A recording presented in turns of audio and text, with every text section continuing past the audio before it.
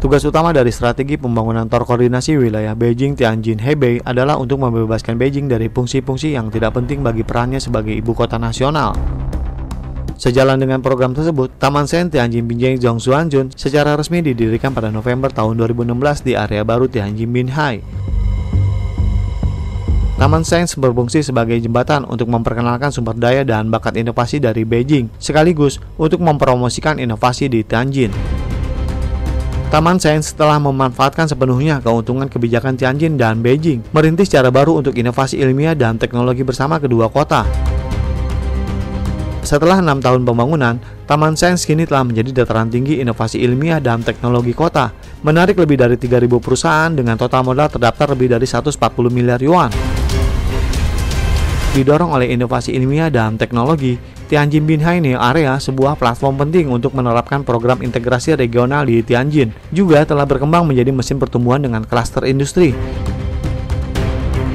Pada tahun 2021, kawasan tersebut telah membentuk empat klaster industri utama, yaitu teknologi informasi generasi baru, manufaktur mesin dan peralatan mobil, industri petrokimia, serta energi dan material baru. Dalam proses integrasi Beijing-Tianjin Hebei, koordinasi regional di bidang transportasi menjadi kenyataan. Lingkaran perjalanan satu jam pada dasarnya telah terbentuk di area inti dari tiga area. Beberapa kereta api berkecepatan tinggi, termasuk kereta api antar kota Beijing, Tianjin, dan kereta api Tianjin Baoding, telah dibuka untuk lalu lintas. Kereta api antar kota Beijing Binhai dan Beijing Tangshan, juga kereta api berkecepatan tinggi yang menghubungkan Tianjin dan Bandara Baru Beijing di distrik Daxing saat ini sedang dalam pembangunan. Untuk para pekerja di Beijing yang tinggal di Tianjin, saat ini hanya membutuhkan waktu sekitar setengah jam untuk bepergian dengan kereta api antar kota Beijing-Tianjin. Integrasi regional telah membawa manfaat nyata bagi kehidupan sehari-hari. Data menunjukkan sekitar 100.000 orang berpergian antara Tianjin dan Beijing setiap hari pada tahun 2020. Pelabuhan Tianjin juga telah meningkatkan kerjasama dengan pelabuhan tetangga di Hebei untuk membangun klaster pelabuhan kelas dunia sejak tahun 2014.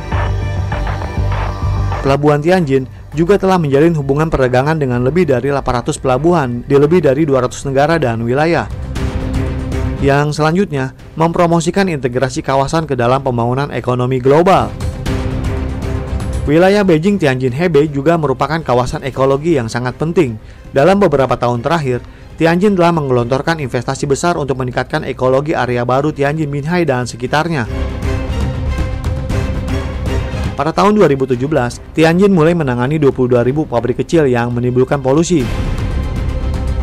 Sebagian besar terletak di area baru Tianjin Binhai yang berjarak sekitar 60 km dan meluncurkan pekerjaan perlindungan di lahan basah seluas 875 km persegi, sekaligus membangun penghalang ekologis hijau seluas 736 km persegi antara kedua area pada tahun 2018.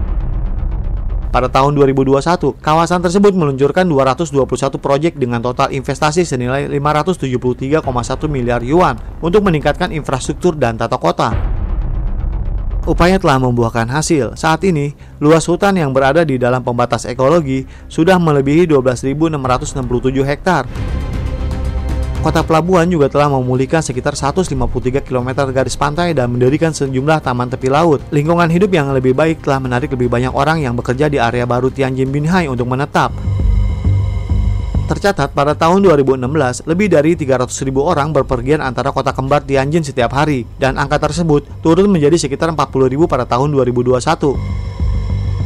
Demikianlah ulasan kami bagaimana strategi pembangunan terkoordinasi wilayah Beijing Tianjin Hebei adalah untuk membebaskan Beijing dari fungsi-fungsi yang tidak penting bagi perannya sebagai ibu kota nasional. Bagaimana menurut pendapat Anda? Silahkan berikan komentar Anda di kolom komentar kami. Terima kasih dan sampai jumpa di episode berikutnya.